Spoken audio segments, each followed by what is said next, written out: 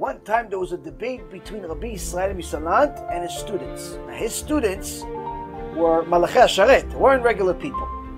Each one is Gdol Ador.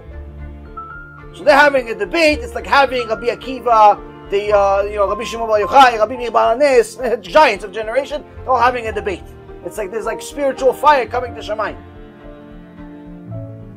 So now they're having a debate. What's the debate? About bitachon. About bitachon. Rabbi Sami Salat says, you are supposed to have 100% bitachon for every big thing and every small thing. Ad kedekach, to the extent where if you believe that something's going to happen right now, Hashem will make it happen. Chachamim, his Talmidim says, Kvod Arav, now you're taking it too far. Well, Hashem works for you. He says, no, no, no. It's not about Hashem works for you. Shalom. It's not about Hashem works for you.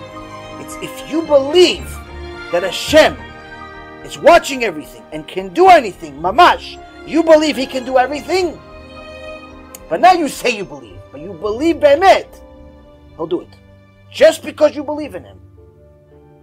And they had a debate back and forth. Dude, dude, is this proof, that proof, this proof, this proof. he says, Here, I'll prove it to you all right now.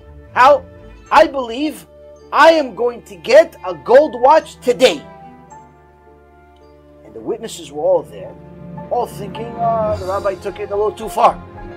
As soon as he's finished the sentence, as soon as he's finished, like a movie, like a movie, five soldiers, Russian soldiers, come inside, burge inside the kollel, the Bet Midrash. People are scared. What's happening? You know, usually Russian soldiers show up. It's not good news. Leader of them says, "Who's the biggest chacham here?" In Russian. Everyone points at the Rebbe. Okay, sir. Here. He takes out of his pocket a box. He hands it to him. Rabbi Sami Salant opens the box. Gold watch. Now, obviously, people will say, whoa, whoa, great, but what's the story behind it? Uh, can you please tell us where'd you get this watch? It's like, oh, he says we were at war. My buddy, my best friend, died at the war. But before he died, before he got shot and died, he gave me this watch. He told me, listen, do this is my dying wish. Give this watch to the biggest chacham in the yeshiva for Jewish people. That's my dying wish. And then he died. And I said, I'm going to deliver on a promise, and today I'm delivering on the promise. The decree was written in Shemaim.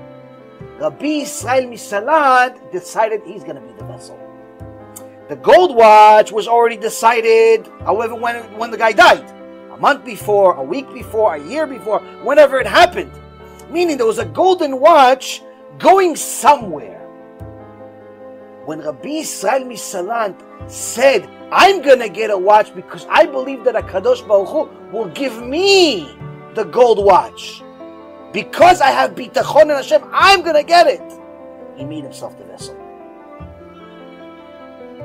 Not because he said it, because he believed it.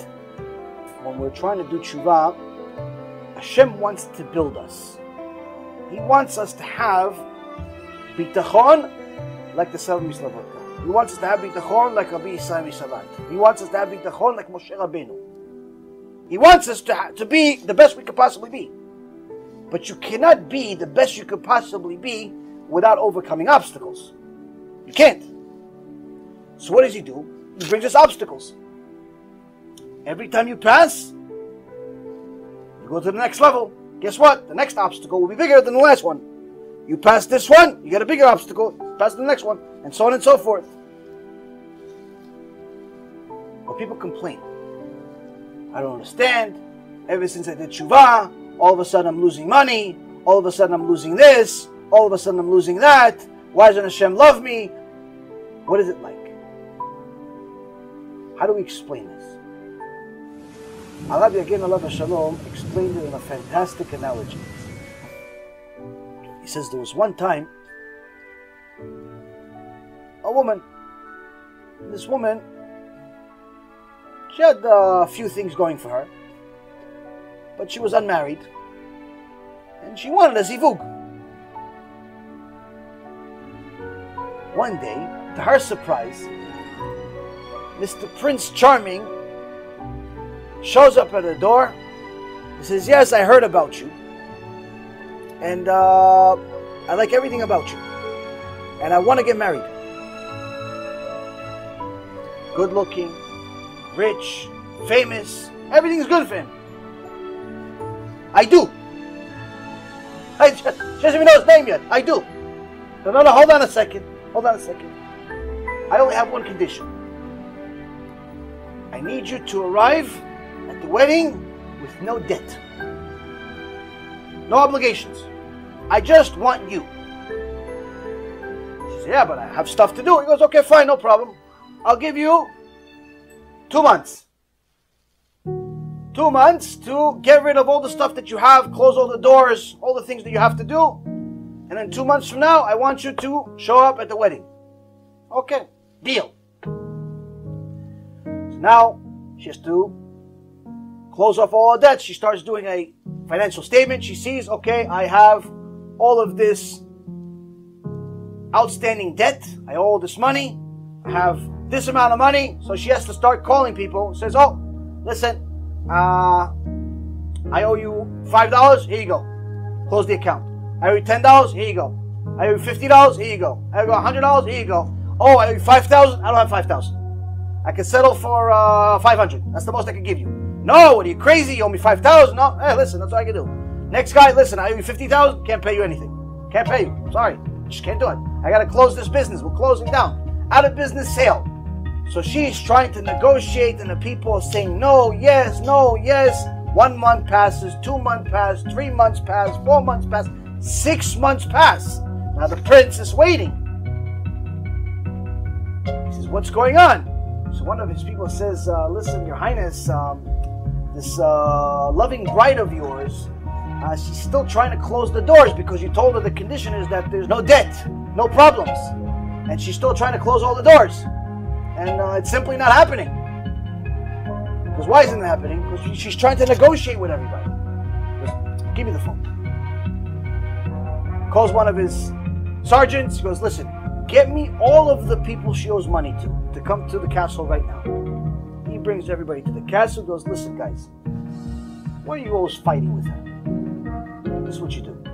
All of you gather together. Instead of negotiating individually, all of you gather together class action lawsuit, take everything she has.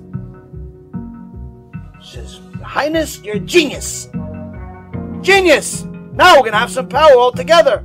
Save money on legal costs, save headache. Fine. That's what they do. All of a sudden she's trying to negotiate. All of a sudden she doesn't get any phone calls. Everything becomes quiet. She starts to get a little worried until one day somebody shows up at the door, gives a 150 page document, sign here. Here you go. You've been served and she sees class action lawsuit, foreclosure, this closure, that closure, Shem Yachem. Her whole world collapses. She has no what to do. She has no idea what's going on, what's happening. Who do I call? Oh, she, she calls the prince because I don't know what I'm to do. I'm in a lot of trouble. I'm to need at least another six to eight months, maybe a year before I go to this wedding. Why? He says. Because I have a, I have a, I have a class action lawsuit just arrived at my door. He goes, oh, great. He goes, what great? What do you mean great? He goes, oh, it was my idea. He goes, what do you mean it was your idea? He says, I told him to file a class action lawsuit against you. You want to marry me? But at the same time, you're advising my enemies to smash down my door and file class action lawsuit against me? He says, yeah. He says, why'd you do that? because you were taking so long. I want to marry you already. Let's finish with it, give him everything, and let's get married clean. That's a Kadosh Baruch Hu. A Kadosh Baruch Hu is telling you, listen, I've been waiting for your neshama to connect for 3,300 years. Since Mount Sinai, every generation you mess up and you have to come back again. You mess up, you come back again. Finally, you're doing tshuva. I've been waiting all this time. But he's saying, no, I'm not ready to do 100% tshuva because my friends will make fun of me. My job will uh, fire me. My this will that. My this will that. Okay, you know what? No problem. Your job, they'll fire you. The wife, she'll divorce you. The money, you don't have it anymore. I'll clean you up all the problems. Why? I can't wait to see you, my darling. I can't wait to see you. You see, Rabotai, if you have bitachon, that means you knew the problems are coming from the prince. So it's not a problem. It's the solution. But if you don't have bitachon, you're struggling, suffering every moment of your life because you think that the prince hates you. You think the world hates you. You think you're unlucky. You think that everything is upside down. Maybe I shouldn't. Maybe this, maybe that. You have constant questioning.